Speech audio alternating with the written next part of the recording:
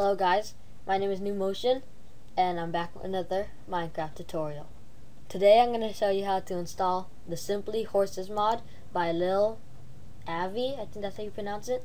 And it does what it basically is called. It just adds horses.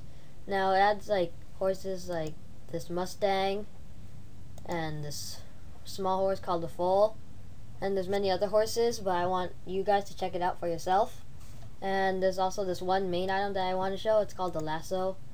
You can use it to catch or tame wild horses and many other things, but let's get right on it. So go to this link that's in the description below and just scroll down until you see the download link. It's right here, current version info. And now you just want to go open the download and the one that says Forge Universal 4.1.1 then just go to those links. And the first one will take you to Mediafire which will download you a zip file and then just click on the green button and it will start downloading. And you can just X that tab out. Then it will then you will want to go to this one the Forge Minecraft and you want to look for the universal download and you can either get AdFly or direct but I, I'm gonna get direct because it's I like it better but it's your preference. And then now you can just um, go in your start button and type percent app data percent. I'll put what you, I'll put that in the description below. And now you want to locate your dot .minecraft folder. And right here you're gonna want to make a folder called mods. So just right click and go to new and click folder. Then do mods with a capital M, then M-O-D-S with a capital M, then press enter. Then now you want to open that folder up. Then just drag the Simply Horses zip file into there. And that's basically it. Now you want to go to your bin file.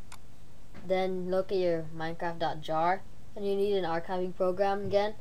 And if like WinRAR and WinZip. I have a video on how to install WinRAR if you don't have it. I'll link it to the description.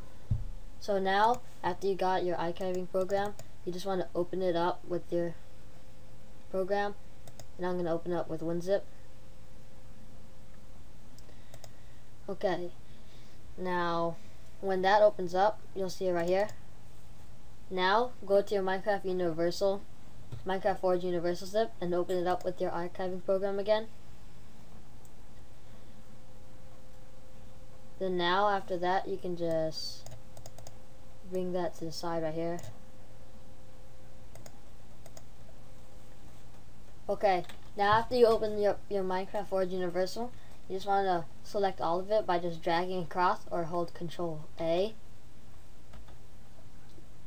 Then just drag it into your Minecraft.jar and it'll start extracting all the files into your Minecraft.jar.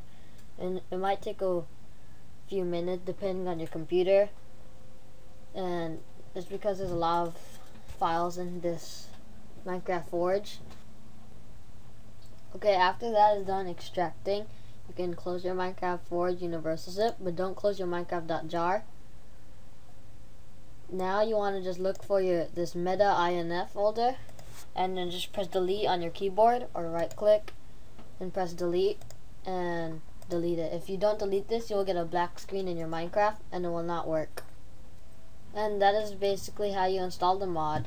And be sure to thumbs up and favorite my video if you found this helpful and be sure to subscribe so you won't miss my upcoming videos. I'm sure you won't regret it.